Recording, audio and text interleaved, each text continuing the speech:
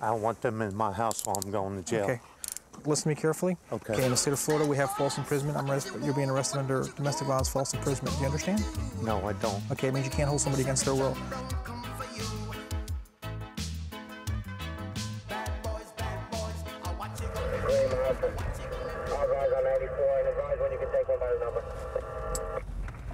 We're going on a domestic dispute between a man and a woman. It's supposed to be violent in uh, the uh, mobile home park.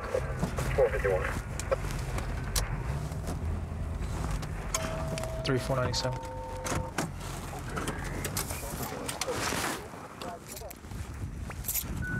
How's everything going?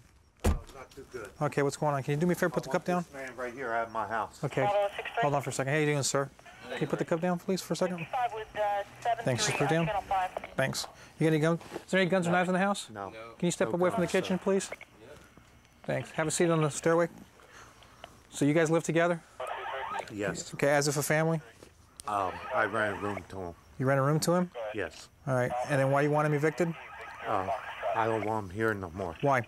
Because he's causing a lot of problems between me and my old lady and everything. Telling me I'm doing this, I'm doing that, I'm doing this. I just got up and had a little argument with her. That was it. Your wife's in the house? Yes.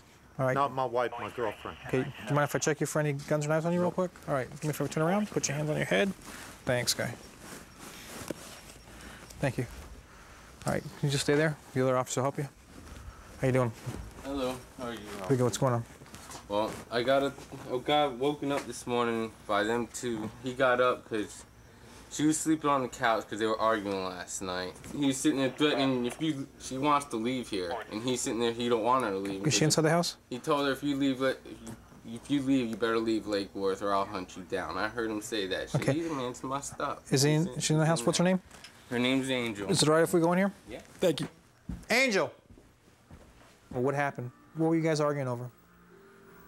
He was just drunk. And then what happened? He just started flying off the handle and, and, and throwing stuff and Like, what did he throw? Go ahead, come here and show me. Oh, he broke the door like that? Yeah.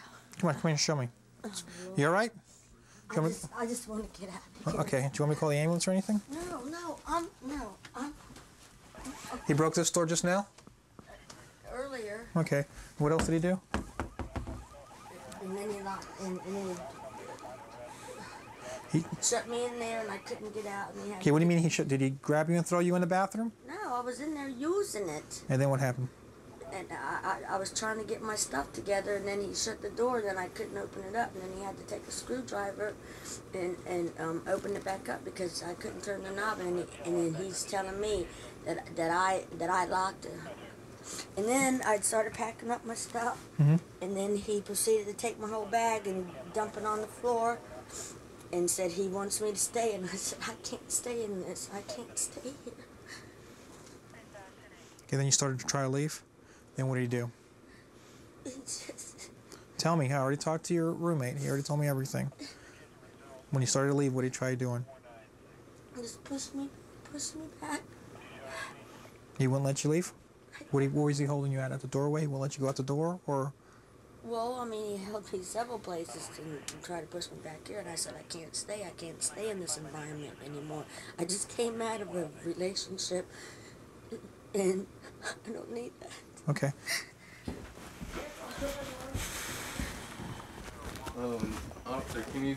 He's been threatening to kick me out, and I don't want my stuff thrown out in the middle of the street while I'm gone. Can you let him know that he I'll, do that? I'll talk to him in a minute. Well, let me just handle this one issue, then we'll come back to that. All right? Thanks. Ryan, 1015, domestic, false imprisonment. Take him. How you doing, sir? Hey, Go ahead, put your hands behind your back. for what? I'll tell you in a second once we get done. All right.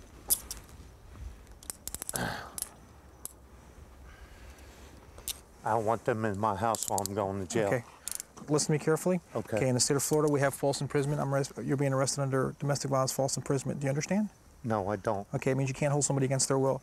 We have two people in there saying that you held her when she was trying to leave and she was in fear for her life. Uh, I did, And- officer. Okay, and I Can I get some shoes? sure we'll get you something. We have an independent witness. Do you understand? Okay. Okay. You have any questions? No, sir. All right, thanks. Go ahead and have a seat in the car. Can I get some shoes? Yeah, I'll get you some shoes.